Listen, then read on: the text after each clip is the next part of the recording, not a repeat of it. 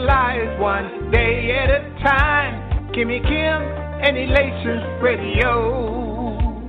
They're here to get your day going fine. Kimmy Kim and Elations Radio. Kimmy Kim and Elations Radio. Kimmy Kim and Elations Radio. And here's your host, Miss Kim Robinson.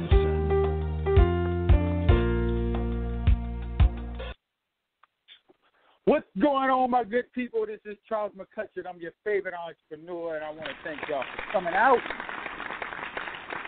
For those, for those, for those of you who don't know who I am, uh, best-selling author, have a nonprofit helping homeless veterans. I call myself Mr. Real Estate because I love helping people to get back into their houses and things of that nature.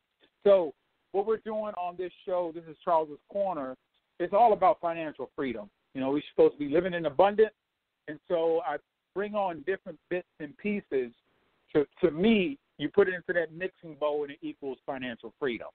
I speak a lot on real estate, nonprofit, government contracts, business credit, getting funded on credit, writing books, and just the whole nine. Literally, I try to speak on what comes you know what I'm working on because it's so much easier to talk about what I'm going through and what I'm what I'm uh, working on myself. So instead of just trying to figure it out. so today, I didn't have. Uh, I, I was just on a lot of different phone calls. I'm just kind of giving y'all a snapshot of what I've been working on. So I was on a lot of different phone calls, talking to a lot of different people, uh, working some multi-family deals, working with some good folks out there, uh, and we have a group about 9,000 people, and these groups are definitely they're they're looking to to do bigger deals in the real estate world. So I can give y'all some insight in that that I'm working on, and these groups of folks they they want to come together and do bigger deals. With that, you do have legal concerns and things like that. So I go over legal, the legal side of real estate, I go over, you know, breaking the deals down in the real estate. I go over to me, it's like everything all inclusive with real estate. And then, uh, like this week coming up, I'm going to be speaking to a group of folks on uh, land deals. I'm going to talk private money. I'm going to talk working with lenders, and that's like, you know, everybody should, uh, everybody has to, if you're in the real estate industry, you have to work with some lenders at some point in time. So I bring that information up so people can have a better understanding and, and how to move forward. We are in our third month family, and I will say, like I do say all the time, January 22nd was when a lot of people just quit. to be mean, I'm just saying it because that's just statistically speaking, that's just the truth. So January 22nd, a lot of people quit. We got all excited in November. We got excited in December about how this new me, new year, and all that stuff was coming to play.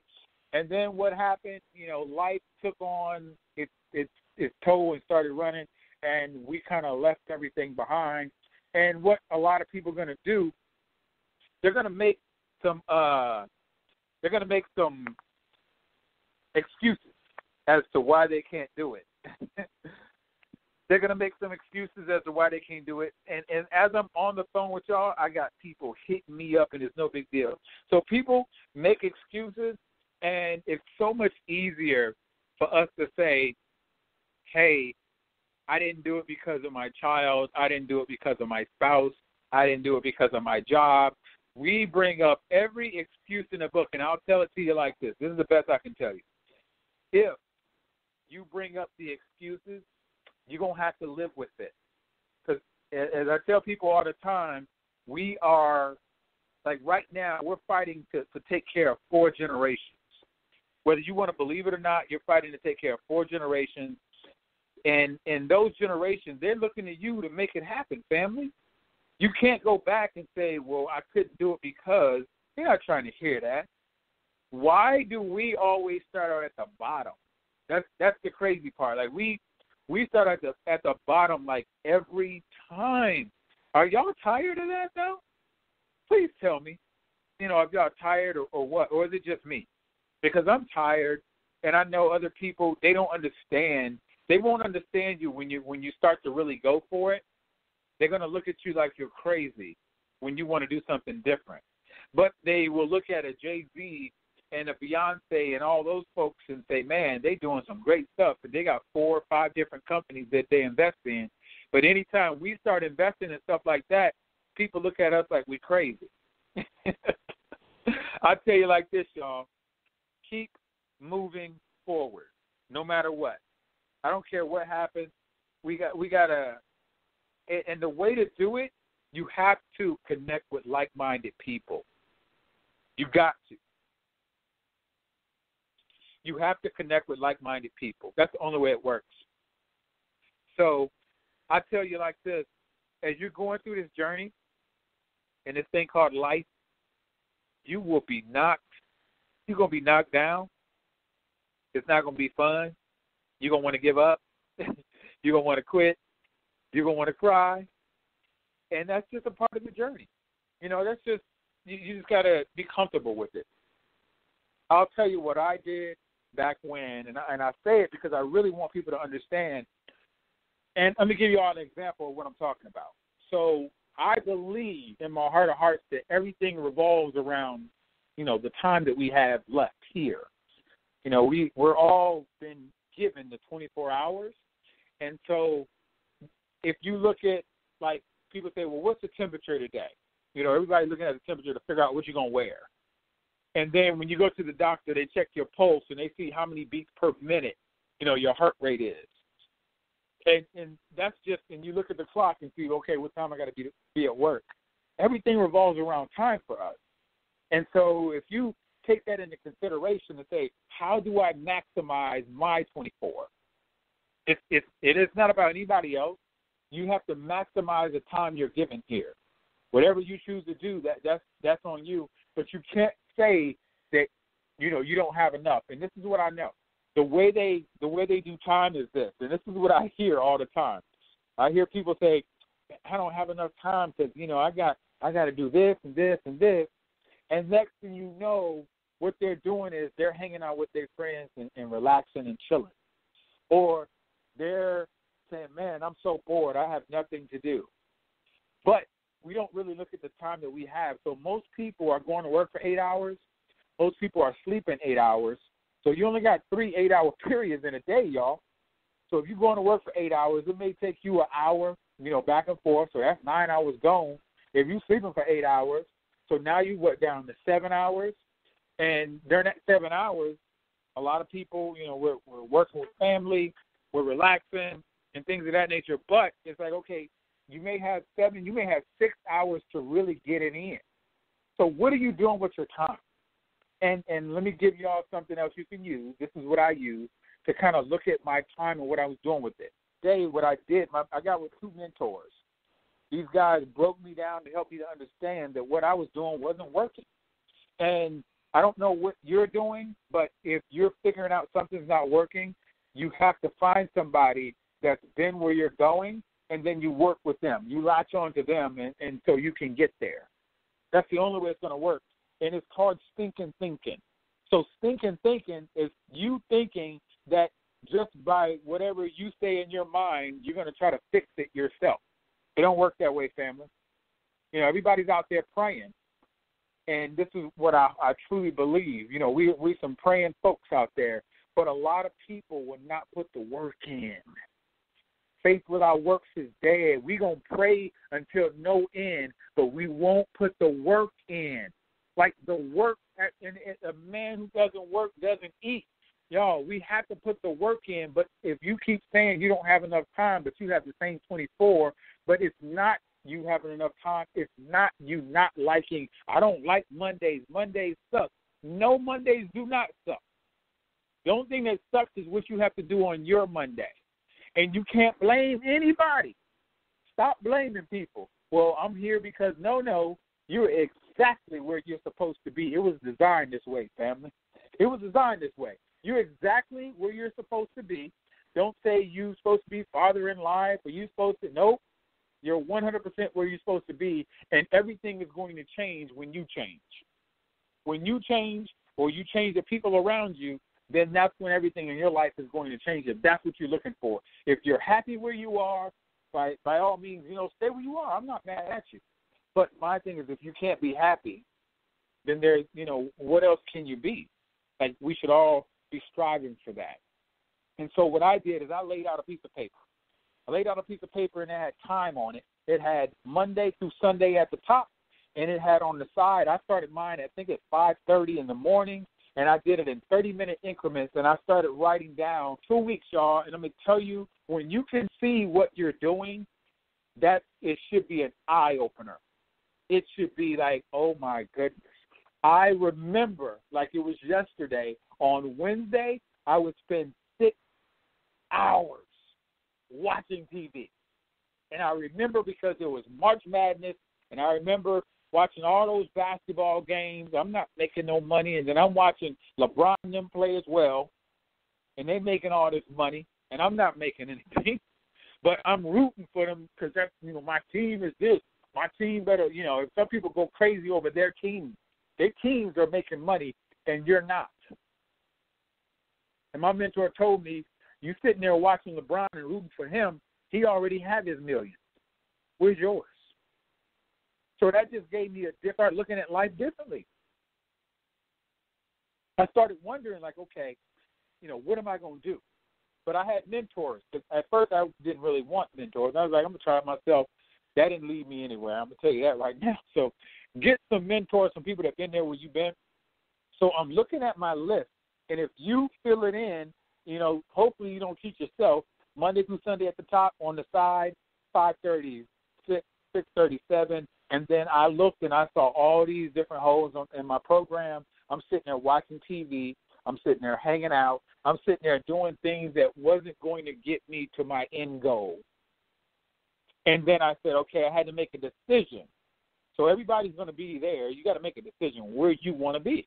And if you're cool, stay where you are. It's no big deal. But don't look at people on TV or people traveling and be like, man, man, they got it good.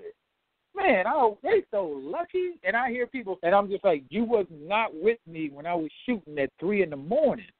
When I was in the gym getting it in, when I was up late at night burning the midnight oil, you was not not with me. And so I don't sugarcoat my lifestyle anymore. I don't do that. There's, there's no, in a sense, there's no playing small to make other people feel good. I'm not doing that. I'm gonna tell y'all just like I know, there is nothing better than having freedom. I'm gonna tell y'all like that's the only thing I know. There's nothing better. So whenever you choose to get there, that's when you get there. But there's nothing better. And had I known what I know today, I would have worked twice as hard to get here.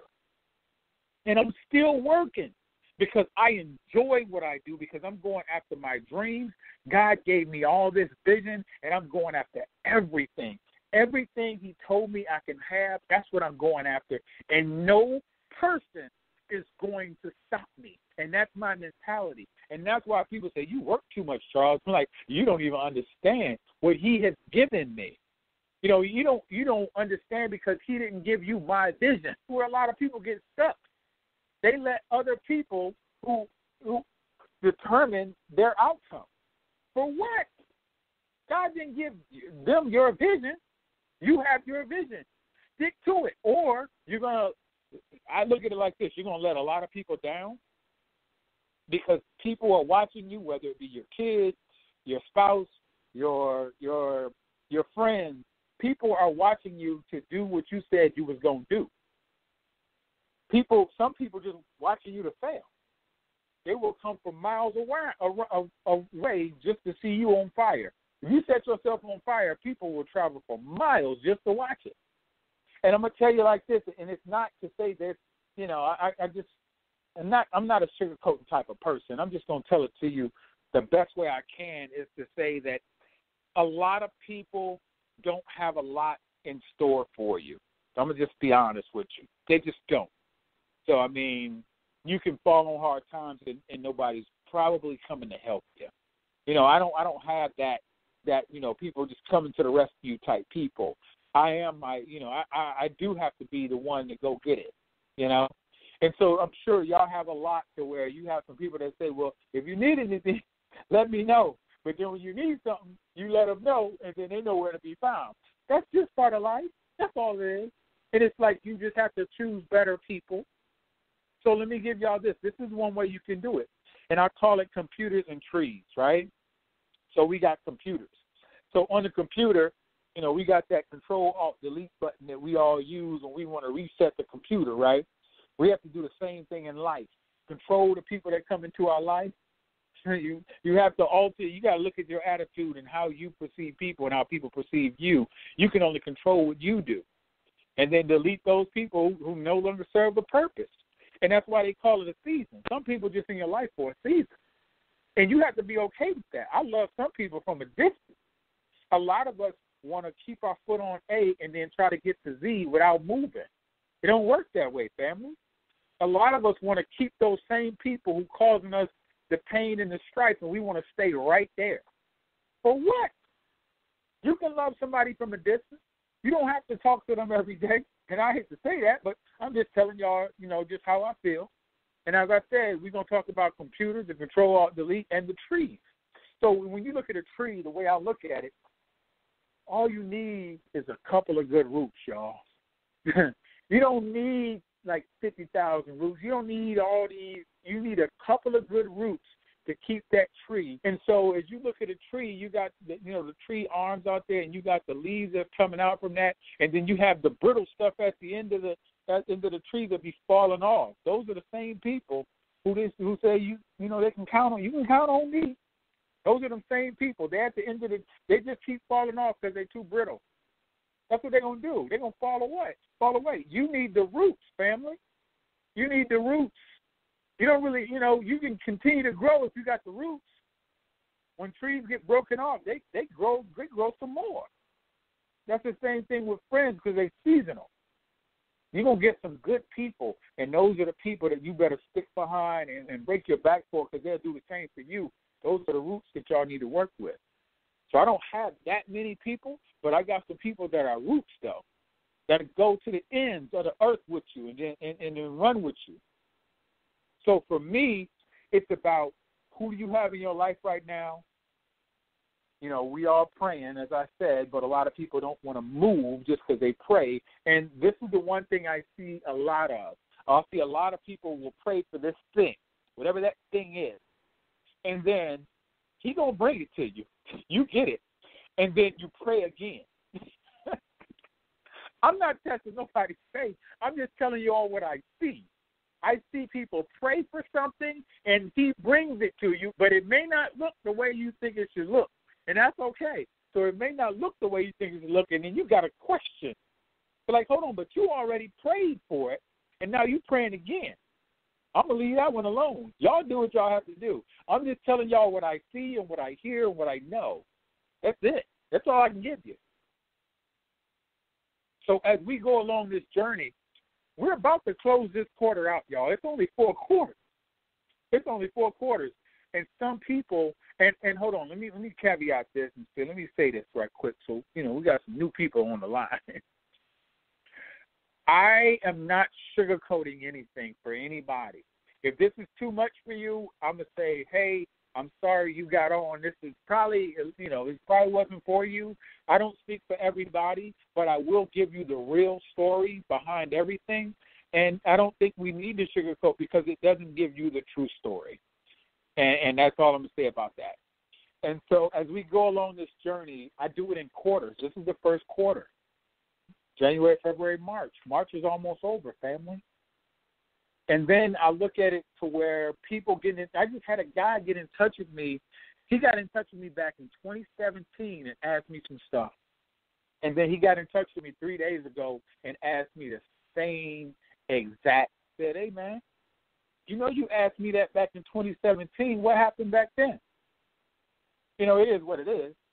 But if I give you the information and you don't do nothing with it, to me, it's almost like you're trying to waste my time. But you know, to each his own. Uh, all I'm saying is the things that we have that we know we should be doing, a lot of people are not doing. This is that get on up and, and put my foot in your behind type of talk, y'all. Because I see what's happening. People still working off of the 2015 list. In 2020. You can't keep putting it on to next year and then the next year and then the next year Come on, y'all. You got to get something off that list done. You know, come on now. We can't keep putting it on and keep going to the next list. And then now 2021 is my year. Now this is really my year. I get that so much by so many people. It's like a broken record. I just listen though. I just listen. And people say I work too hard. I'm like, you have no idea. You have no idea the reason I do what I do.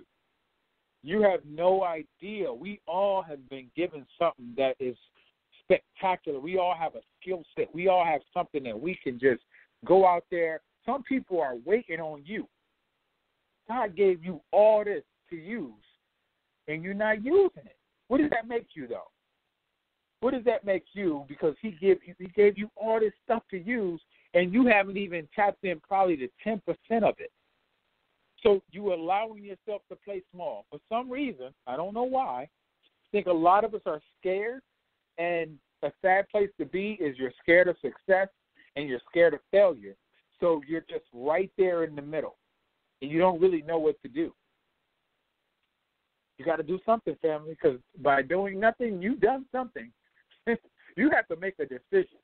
And I remember back in the day when I met these young guys, 21 and 22 years old, it was, I met him back in 2011 down in Florida. We was in uh, Jacksonville. These guys had made 2.3 million, and I look at them and I said, "Ain't this about something something?" They done made 2.3 million. I'm sitting here doing single family homes and got some rentals, and they out here killing. And I was just saying to myself, something has to change. I got to get on my job. I got to. I have to use the gifts that he gave me, and I just wasn't doing it. I was playing small. Dave, when I met them guys, I said, okay. I said, it's done. I'm I'm finished. I'm done playing small. And that's all I told myself. And I said, I got to get these books. I got to start studying. I got to start being around better people. I have to, you know, I got to increase what I'm doing because he already laid it out there for me. I just haven't used it yet. And I get some of these people who say they're waiting on God. I said, no, you're not. He already, what, what they say, he, he he rested on the seventh day for a reason, right? he only rested because he was done, right? so how are you waiting on him if he's already resting because he's done? That means he did everything. So there's nothing left to do. He's all he's just waiting on you to do your part. Because if you don't get up, huh, I'm not here to preach to y'all. I'm just telling y'all what I know. That's all.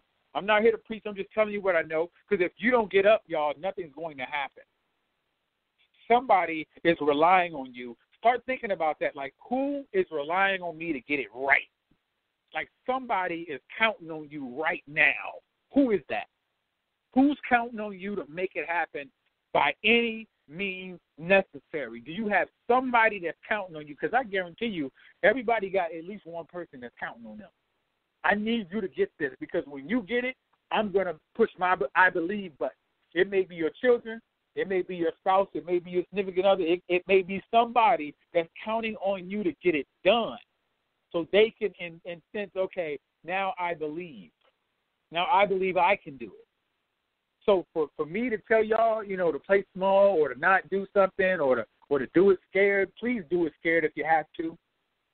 The way I want to sum this up is first you need to look at where your time is going, family. Because if you're sitting there wasting time, nothing's going to come of it. And if it's not written down somewhere to where you can see where your time is going, nothing's going to come of it. All right? You're just going to continue to waste time, just to be honest. Find you a mentor or two or three or five, I don't know. Find somebody that's doing what you're doing. But they're doing it at such a level that they're revered as the expert. It's almost like some of y'all would rather blindfold yourself and run across the street and hope that you get over there. That's what we're doing. We're like, well, let me just blindfold myself and let me see what happens. Or you can get the GPS from somebody who's already traveled that road and then they give it to you. Sometimes you got to pay for it. And I'm one of those guys, I'll pay for it. I have mentors. I got four mentors in real estate I got two in in the nonprofit world. I got two in the government contracting world. I got two in the private money world. I got three in the speaking world. I got two in the writing book world. I got, and that's just what I have. But I provide value to those guys. I provide value. I'm just not saying gimme, gimme, gimme. I'm providing value, and I had to pay. I, you know, pay some of them, don't pay some of them. It is what it is. But when you can provide value, then it's more likely they'll open the doors up for you, and people will want to work with you. If you have a bad attitude, people are not going to want to work with you. If it's all about you, people are not going to work with you. If you always come, people are not going to work with you. It's not going to happen. I don't care how many degrees you have. It's not about degrees, family. It's not about degrees. It's not about your education level. It's your skill set in being able to work with people and just being a good person. That's it. Being a good person will open more doors for you than your degree. I'm not saying don't go get them. I got degrees as well, but I don't use. I mean, I'm not really out here saying, okay, you need a degree to do real estate, a degree to do a nonprofit. You don't need that. You do need some sense about yourself to whether you can connect with like-minded people and move forward, move your stuff forward. I had to put this off, y'all. I had to get this off my chest because see a lot of people just kind of getting by. A lot of people just kind of getting by, and I think we have too much at stake right now, and it, and it's always been too much at stake. But it's like we we gotta we gotta see what we have our hands on. Look at the gift that you've been given and do something about it, or not. You know, either either way, that's on you. Do something about it or not. But don't keep looking at these people on TV or and wishing that you were in their place. What are you going to do about it? How are you going to be in their place? Are you going to get up? Do you have somebody counting on you? Who's watching you right now? Watching you complain, listening to you complain. You know, that's how I look at it. So this is what I want to do. This is the Elation Radio, and I do want to thank Miss Kimmy Robinson for putting uh, together Elation Magazine many, many moons ago, and I watched it evolve in the Elation Radio, and it just keeps evolving. In the city of St. Louis, Missouri, where we have a proclamation for Elation Honors, and we do something every November around the 16th of the month. The city comes on board, and we are just we just have so much fun there. It's a whole weekend type of affair. Great people coming out, educating people. We got the Word of God that's being shared as well, and for everybody out there, my name is Charles McCutcheon. You can find me all over social media. You can hit me at charlesmspeaks at yahoo.com. And, I mean, it may be a minute before I get to you, but I'm going to get to you. I'm human. You know, I'm human. I'm a busy guy, but I don't make any excuses. I just get it done. That's all we can do. So what I'm going to do is pray us out right now. Now, dear Heavenly Father, I pray to you right now to bless everyone who's going through the trying times. I pray for everybody's strength, everybody's unity, and everybody's empowerment. I know people feel that everything is not coming together fast enough and frustration sets in and people tend to believe it won't get any better. Dear Father, let them know that everything happens in your time. And I know you'll provide the strength that we need and know that when our time comes, it will be right on time. Father God, you're all knowing and we must believe in and trust in you. We do get weak, but we must continue to keep the faith in trying times. Father God, ensure that we manifest the destiny and the glory you've already set in our lives ensure that we use up the territory you've given us, dear Lord. I pray for everybody to gain more strength. I pray for everybody to gain more wisdom so that we know without a doubt that joy will come in the morning. In your name I pray. Amen, amen, and amen. And this is Charles McCutcheon. I'm your favorite entrepreneur. Y'all take it easy.